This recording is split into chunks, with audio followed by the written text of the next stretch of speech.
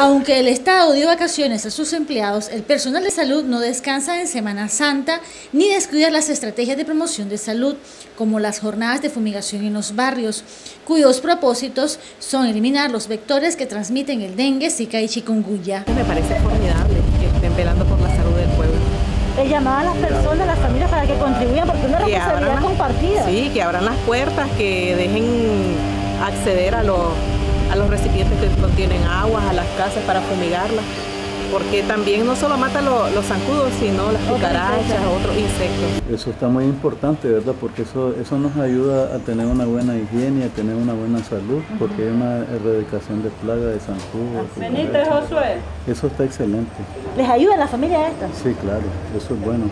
El llamado a las personas para que siempre abran las puertas, que colaboren, porque es una responsabilidad compartida, ustedes saben. Claro, por eso tenemos que poner de nuestra parte porque es algo por, nuestro bienestar, por nuestra salud. Las brigadas médicas recorrieron las viviendas del barrio Carlos Fonseca Amador, ubicado en el distrito 5 de Managua. Asimismo, el director del Centro de Salud, Pedro Altamirano, indicó que con la fumigación se corta el ciclo de vida del mosquito que en etapa adulta deposita los huevecillos en el agua. Con esto nosotros trabajamos el ciclo de vida que tiene el mosquito desde que se depositan sus huevos entonces tenemos los huevecillos, las formas de clavitos como comúnmente se le conoce, luego aplicamos PTI, ¿verdad? Para todos estos, esta, esta fase, eliminamos criaderos y también vamos a fumigar porque ella es el vector adulto que pudo que no pudo ser eliminado en la primera fase y con esto nosotros vamos a eliminar. Agregó que también es responsabilidad de las personas aprender a identificar y eliminar los criaderos de mosquitos. Celia Méndez Romero, TV Noticias.